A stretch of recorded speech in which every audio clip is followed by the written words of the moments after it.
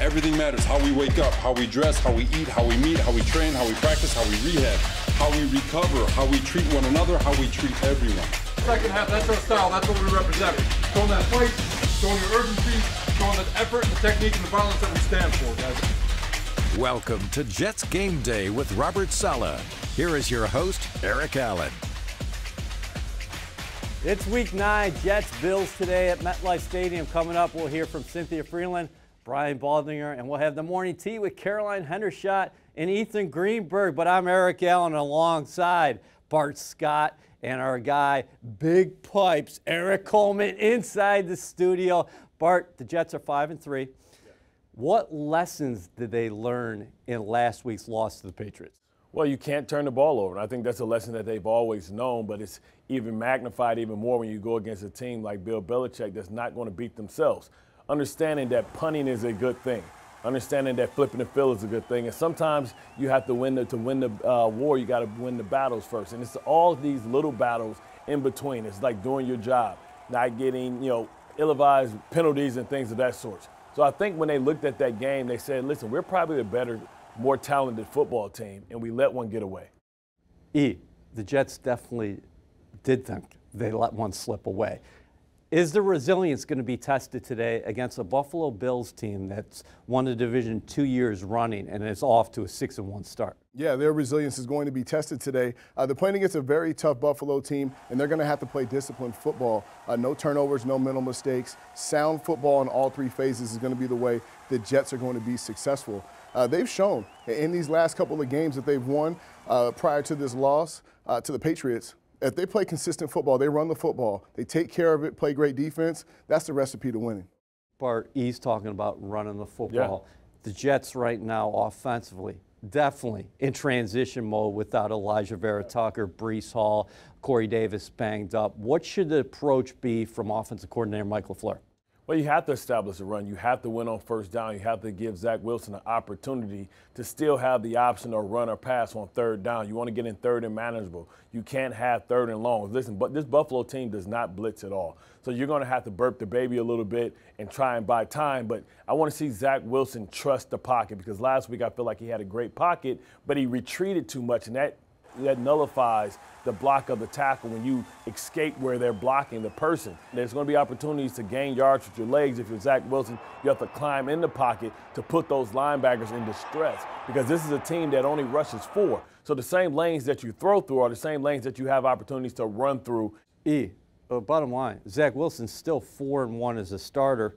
He had some passes that he'd like to take back against the Patriots, but were you encouraged by what you saw from Wilson to Wilson? That's Garrett Wilson, his second 100 yard game in the National Football League. And how about the tight end position? Tyler Conklin, six catches, 79 yards, two touchdowns. I love the chemistry from Wilson to Wilson. Uh, Garrett Wilson is a very explosive receiver, and it seemed like every time he got the ball, he wasn't trying to go down. I'm trying. He was trying to feverishly get to that end zone, and, and I love that tenacity. I love the love for the game that Garrett Wilson has. Uh, when you, and then when you have Tyler Conklin making those big catches, relieving some of the stress from Zach Wilson, that is a big uh, help uh, for this young quarterback.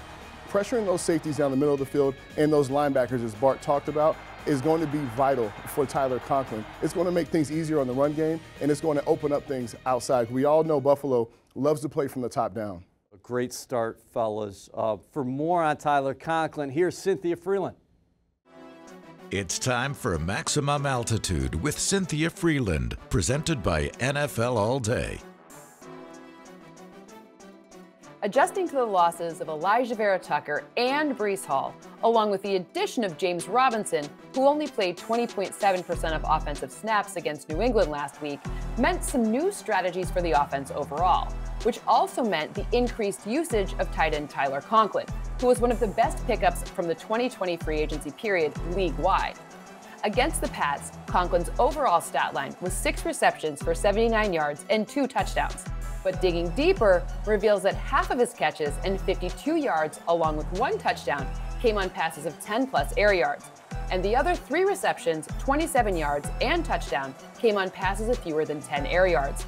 He also caught half of his passes for 33 yards and one of his touchdowns against press coverage, which Next Gen Stats defines as three or fewer yards of cushion.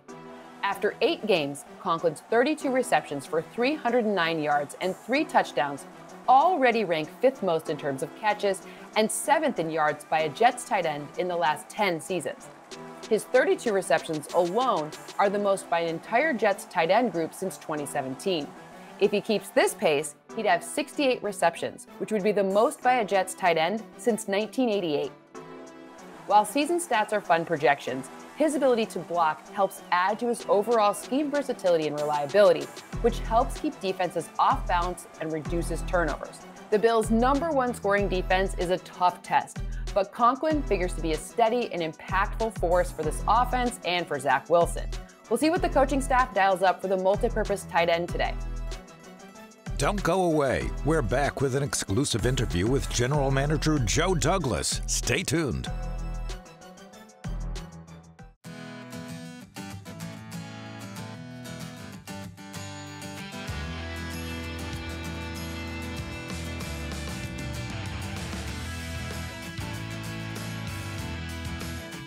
Joe, what was trade deadline day like for you?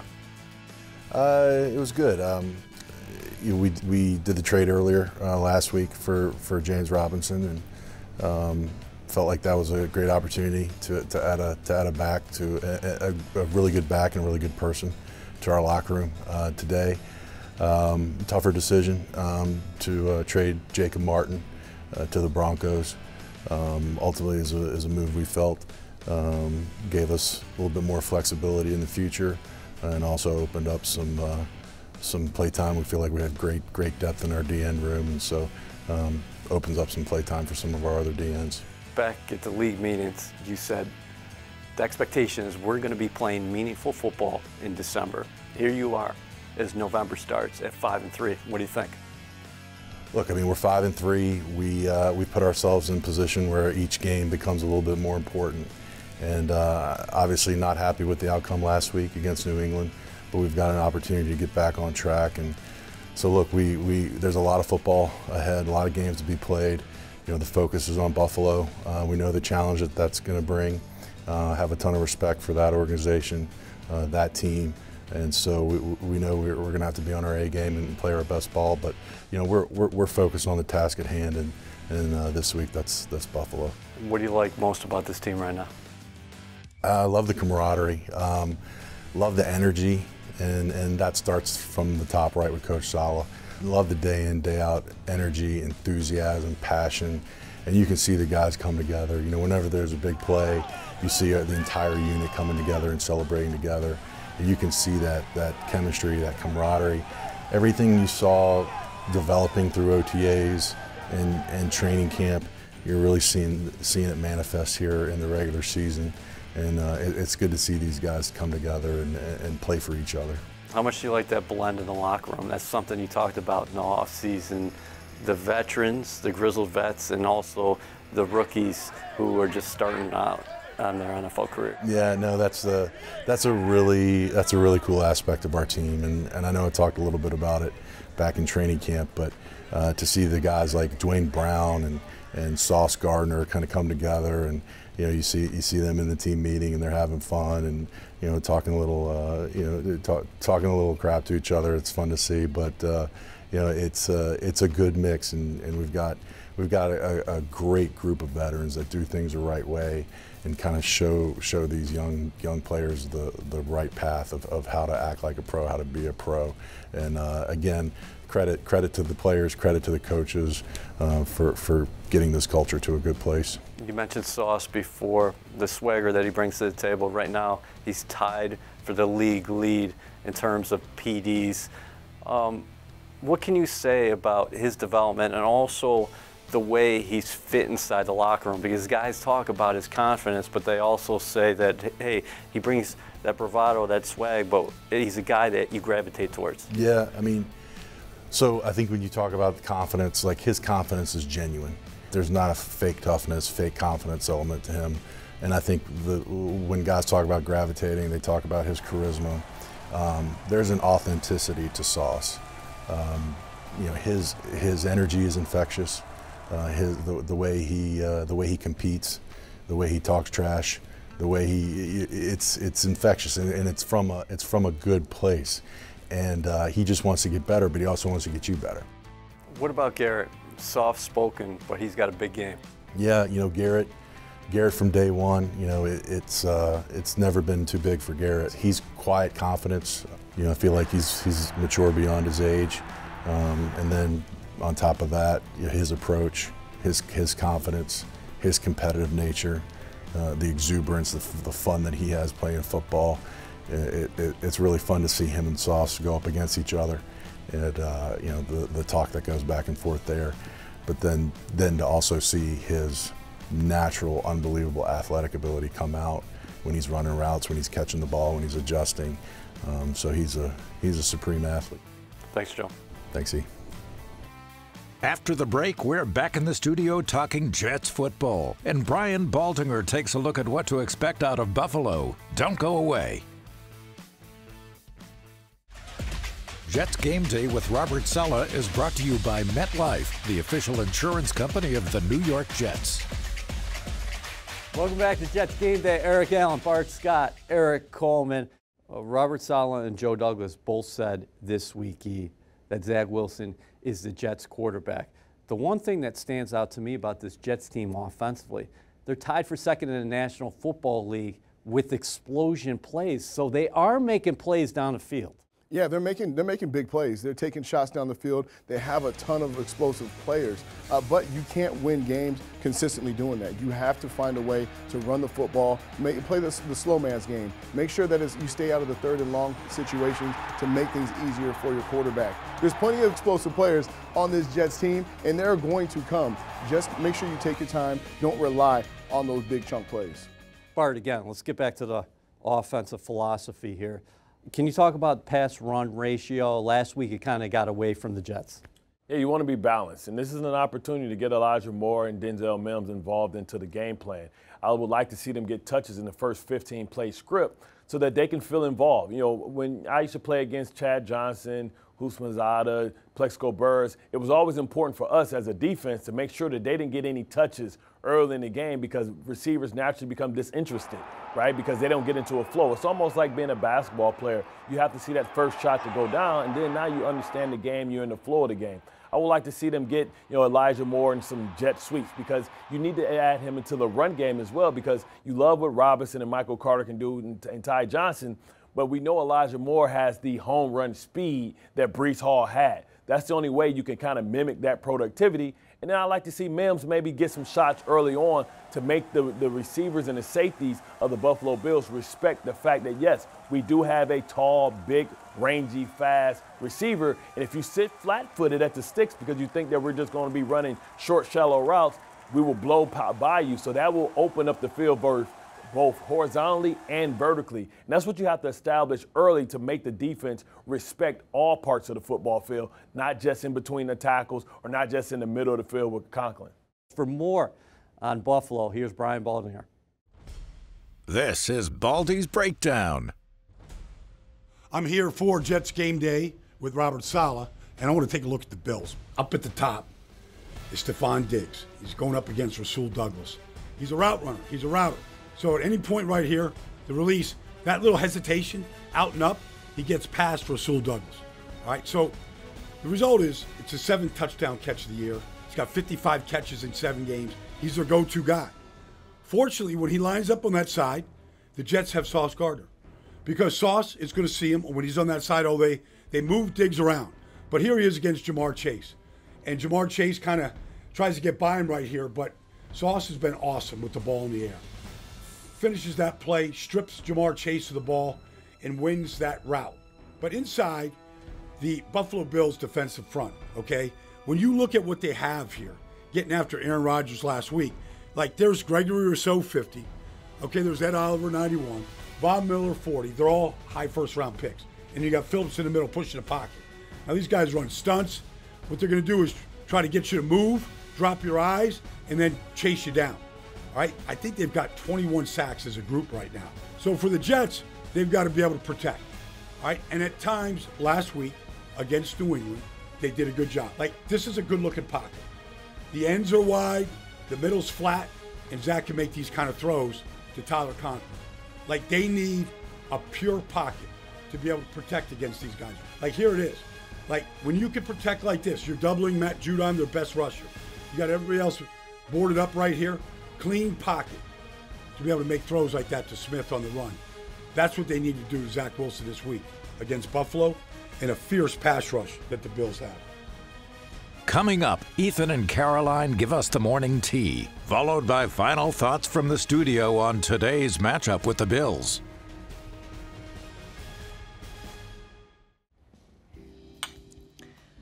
Right, Ethan, another week, another great game for Garrett Wilson. He now has 34 receptions through eight games, and that ties Wayne Chrebet as the most for a Jets rookie. That's pretty good company to be in, and with Corey Davis still dealing with a knee injury, you would imagine that the Jets would want to rely on Garrett Wilson a little more against a Bills defense that's stellar. However, a couple things to keep an eye on. All pro safety Jordan Poyer dealing with an elbow injury, and then all pro cornerback Tre'Davious White might be back in the lineup to make his season debut. Interesting. Okay, but on the flip side of the Bills' defense, their rush defense is crazy. They've only allowed 95 yards per game this season, and before last week, they hadn't allowed a running back to get over 50 yards. That's crazy. You know the Jets want to run the football. Season low 15 attempts last weekend against the Patriots, but in the Jets' four-game winning streak, they averaged 29.8 attempts. So, Ooh. like I said, you know the Jets want to run the ball.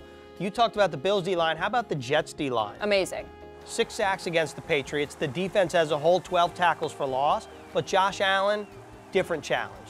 Yeah, he's cut from a different cloth. And while he's 5 and 2 against the Jets, He's been sacked 11 times. He's thrown for five interceptions and he's had six fumbles. And that's the most fumbles he's had against any team in his career. Look, stopping Josh Allen, very important. Yes. AFC East game, very important. Yes. What's more important than both of those? Tell me. Today's salute to service game. Oh, 100%. I mean, we wouldn't be here without any of our military personnel, so we thank you for your service. Here's to you, and that's the T. That's the tea. This segment is brought to you by HCL Tech, supercharging progress. Eric Allen, Bart Scott, and Eric Coleman. Bart, our linebacker, EC, our safety. Jets defense, tall task today because they're facing one of the top players in the National Football League, Josh Allen. How did the Jets bring him down in the pocket? Well, you know how you have to know how to bring down a big, tall, athletic quarterback understanding that he's always going to have you in the sight line. You have to also, if you're on the right side, you have to stay on the right side. If you're on the left side, you have to stay on the left side. When I'm saying right side, left side, I'm speaking on the shoulders, right? You have to always make sure that that head is out here because you can't allow him to break contain. Shoulder here, circle the defense. You come back, you want to try and attack it. So now if he makes you miss, he has to make you miss this way, and you can come back and still get opportunities to get the football. You have to make sure you can never come down the middle of anybody that you're trying to tackle, especially a quarterback that has certain protections within the pocket that other players don't have. When he's out of the pocket, E, that's a different story. Yeah, I mean, you're going to do all you can to keep him in the pocket, but once he does break pocket, you have to treat him as if he's a tight end, as if he's a running back. This is not a quarterback running the football once he starts scrambling. Josh Allen is big, he's physical. You have to put a body on Josh Allen. Pursuit angles are going to be big, uh, tackling this quarterback, and you have to you have to put a body, put chest to chest. Okay, so I'm in an open field yeah, now. a lot of times in the open field when guys are tackling Josh Allen, he's big, he's 6'5". They want to go tackle, uh, attack his legs. They want to go down and they start to commit early. That's when you see Josh Allen hurdling these defenders or running through tackles. You have to be able to, to get take that angle, get a body on him, get your head across, and, and tackle him by committee. It has to be 11 hats on the ball, all gas, no brakes. That's how you stop Josh Allen once he tackle, once he uh, breaks the pocket. Defensively, who are you watching for the Jets today? For me, it's C.J. Mosley. C.J. Mosley is going to have to be a, a, huge role because he's the middle of that defense. He's the bridge between the front end and the back end. He's going to have to keep his eyes on Josh Allen. If he breaks contain, it's going to be C.J. And, and, and Josh in space. He's going to have to make those tackles and make them pay the price. Pay the toll for, for, for pass and go if you're going to decide to be a football player, not a quarterback. Uh, for all the talk about the Bills' offense, they got a real stingy defense. Who you watching as far as the Jets' offense is concerned? On the Jets' offense, I'm looking at Michael Carter. He's going to have to be a, have a big day today. Make that Bills defense respect the run of the Jets. Buffalo is a defense that loves to play from the top down. They like to rush forward. They don't blitz much. If you can effectively run that football like the Green Bay Packers did against this Bills defense, the Jets are going to have a big day. Bring us home. High five. Jets Bills, 1 o'clock.